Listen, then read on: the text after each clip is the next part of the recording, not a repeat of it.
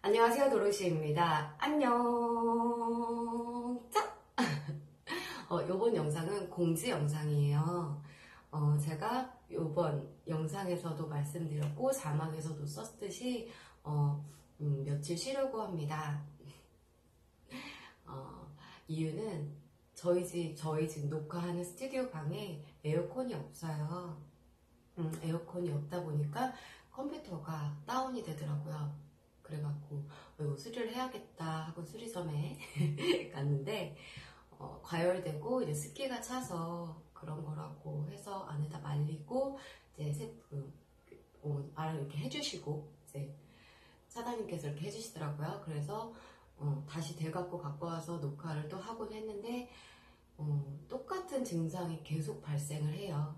계속 다운되고 모니터가 지지직거리고 아니면 그냥 꺼지고 어, 이런 상황이 계속 반복되다가 어, 저도 촬영할 때 계속 재부팅을 해요.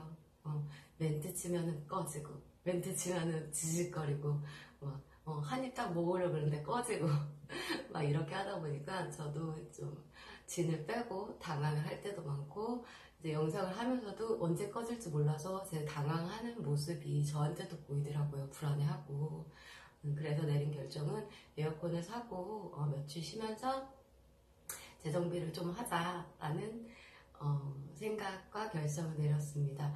뭐 특별하게 막 되게 오래 쉬는 건 아니에요. 어, 근데 이제 여러분 기다리시는 분들도 계시고 할 것 같아서 음, 공지 영상을 띄우는 게 좋겠다 싶었습니다. 그 좀 오지랖일, 오지랖일 수는 있는데 좀 오버하는 걸 수는 있는데 제가 이렇게 하고 싶었어요. 그렇게 길게는 아닐 거지만 며칠이라도 기다리시는 분이 있을 것 같아서 영상을 남기는 거니까 너무 크게 생각은 하지 않으셨으면 좋겠습니다. 그러면 저 가볼게요, 여러분. 쉬는 동안 또 맛있는 거 많이 먹고 건강하게 돌아오겠습니다. 그럼 안녕!